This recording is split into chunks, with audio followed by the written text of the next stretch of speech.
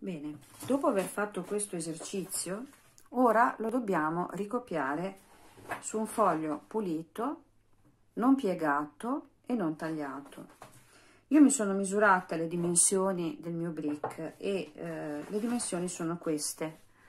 8 cm di altezza, 6 cm di larghezza e 4 cm è la profondità del mio brick. Me le sono anche riportate per comodità qui, quindi vedete 8 cm di altezza, 6 di larghezza e 4 di profondità. Ora devo andare a ricopiare con precisione questo lavoro sul mio foglio. Prima di tutto devo dividere il mio foglio in quattro parti, quattro parti uguali, quindi devo calcolare la metà del foglio, se avete il foglio squadrato eh, è già segnato, io non ce l'ho, quindi me lo devo calcolare.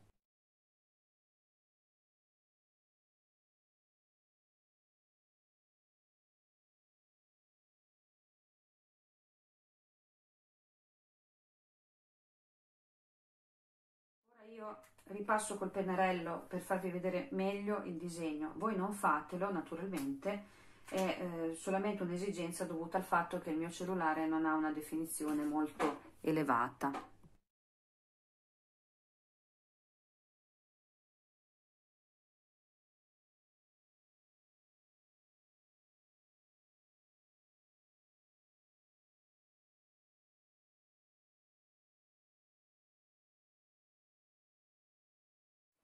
Questo si chiama piano verticale PV questo piano laterale PL questo piano orizzontale PO questa linea si chiama linea di terra. E questo non gli diamo non scriviamo nulla ma è il piano di ribaltamento.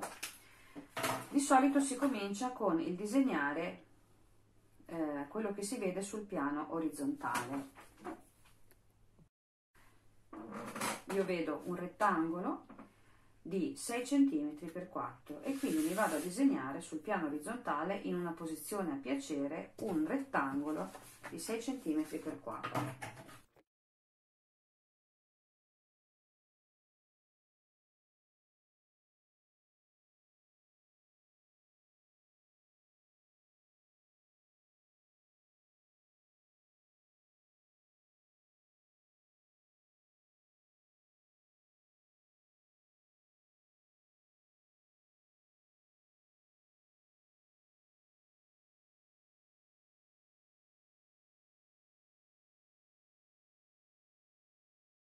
Volendo potete anche aggiungere dei particolari, il foro della cannuccia, la scritta. Quanto è alta questa scritta? Vediamo. È alta 4 mm ed è a circa 1 cm,4 dalla base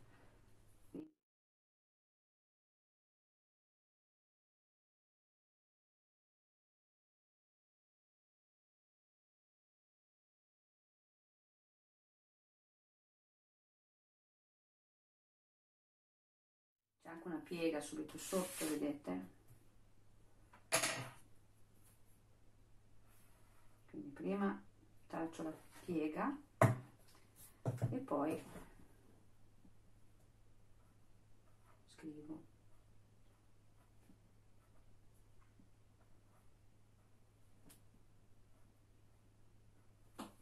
Ecco. adesso devo disegnare questo per trovarne la posizione non faccio altro che prolungare questi due spigoli fino a incontrare la linea di terra.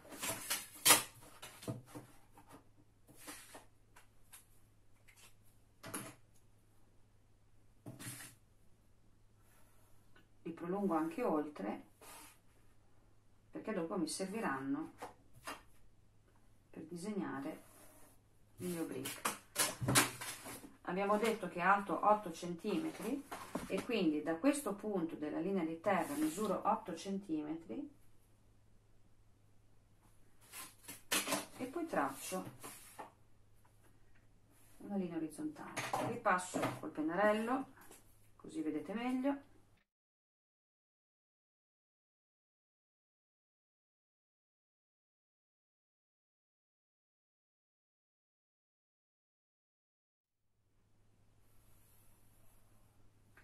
non sono stata molto precisa, voi cercate di essere più precisi.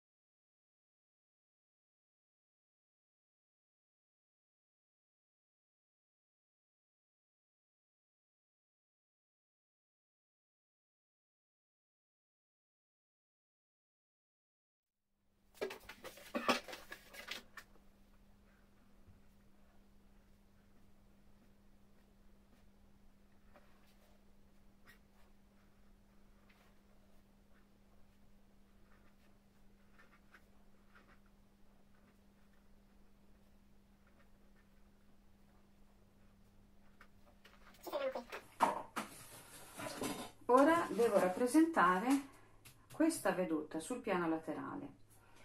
Per trovare la posizione esatta, sì, io so che è alta 8 cm, che è larga 4, però devo capire qual è la sua posizione esatta. La regola geometrica è la seguente. Prima di tutto devo prolungare la riga sovrastante al mio alla faccia che io ho appena disegnato. La prolungo nel piano laterale fino quasi alla fine della squadra. Stessa cosa devo fare anche con le righe che delimitano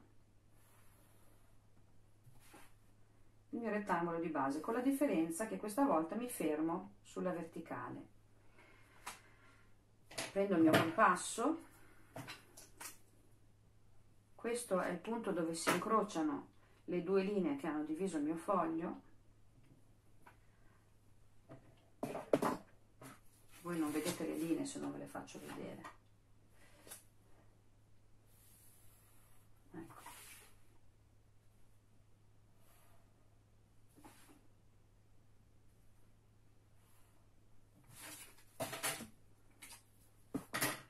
prendo il mio compasso lo punto in questo punto io l'ho ingrossato per farvelo vedere nel video, ma voi non fatelo, che nel disegno tecnico è una cosa bruttissima. Poi dobbiamo aprire il compasso fino a raggiungere questo punto. Provo per vedere se è preciso.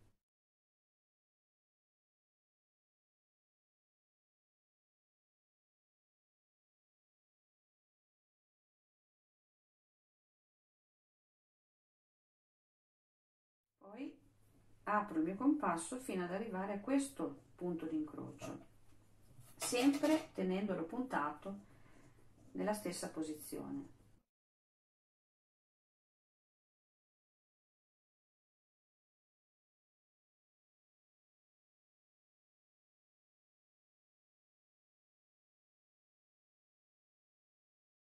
Questa è la posizione esatta della mia faccia laterale.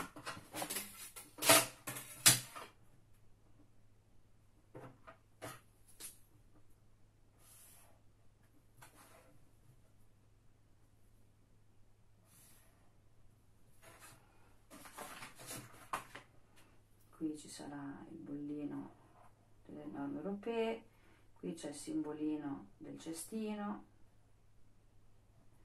e qua ci sono gli ingredienti del mio succo. Adesso non li scrivo li rappresento schematicamente così. Se siete stati precisi questa larghezza 4 cm è uguale a questa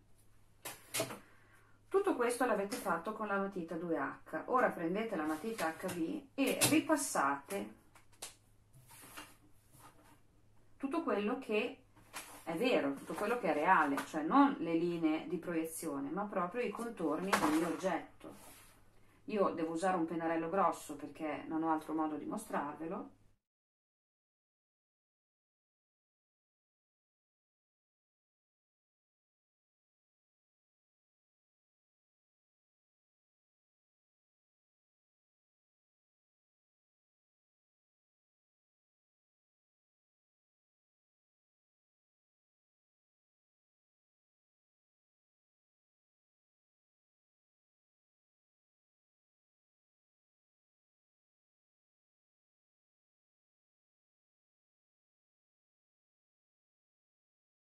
Ecco fatto. Ciao!